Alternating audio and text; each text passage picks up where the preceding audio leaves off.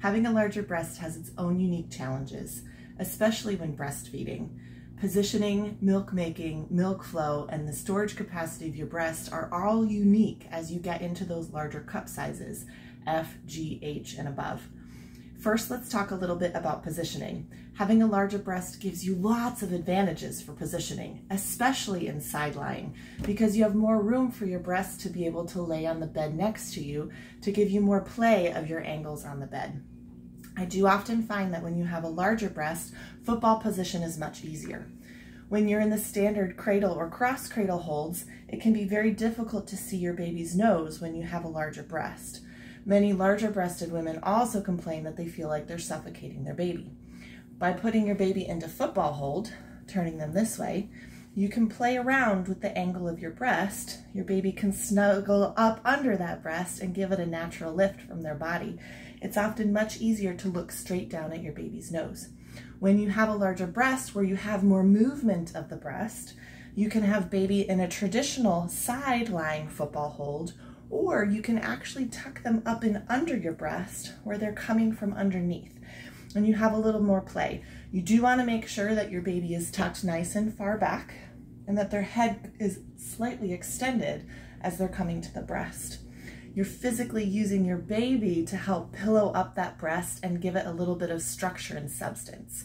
If you still feel like your baby's not comfortable in latching because your breast is larger, you can take a towel roll, a washcloth, a baby burp cloth, a swaddling blanket, roll it up and tuck it up under that breast to give you a natural breast lift to help pillow it up for the baby to latch easier.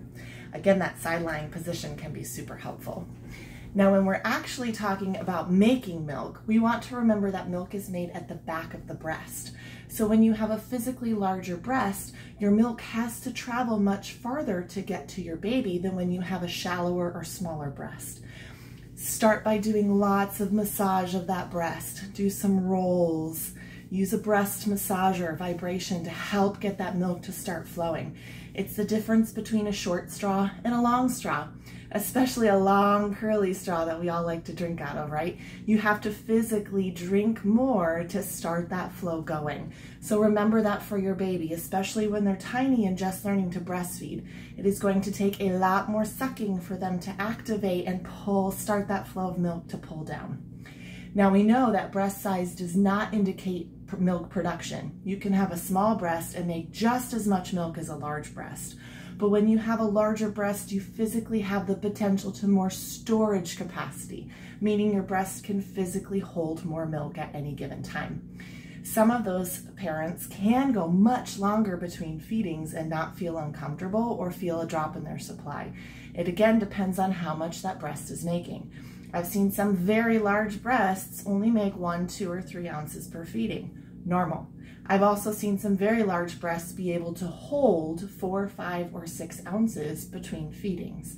You're going to have to figure out what your storage capacity is. Although when you have a larger breast, it tends to act more like an appendage where gravity impacts it. So those large breasts that are really heavy, they'll often collect milk underneath because gravity is pulling that milk down into the appendage instead of letting it flow back through the lymph system or back through the body between feedings. So be mindful when you have a larger breast to do some breast care. Before feedings, to get that milk flowing and active, shake your breast. Do some breast massage, get that milk flowing and active. Between feedings, if you feel like you're having heavy spots of milk, you actually want to help move that milk back through your system, all right? So picking the breast up, physically shaking the breast, laying back down, or doing inversions like yoga can really help get that fluid moving in all directions. If you're always upright or in the same position all day, that breast is going to naturally pull that milk down and hold it lower in the breast, increasing your chance of plugged ducts from it sitting. So make sure you're lifting that breast up, physically pick the whole breast up, Pretend it's like a bucket that you can dump backwards. Get that milk moving. Milk is a liquid that does not have to just sit there. So get that milk physically moving to help your breast feel better. When you have a larger breast, you are also more prone to plugged ducts for that very reason. Gravity is pulling your milk down. So shaking your breast, massaging in both directions. So before feeding, massage down. After or between feedings, massage back up into the lymph system, up into your armpit, up into your chest. Picking that breast up can help.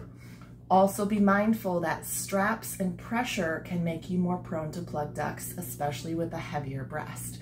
So if you're used to wearing a lot of support for those girls, make sure a couple times a day you're taking the bra off, take the shirt off, let the girls hang, let them dangle, move them around to try to keep that milk flowing and moving.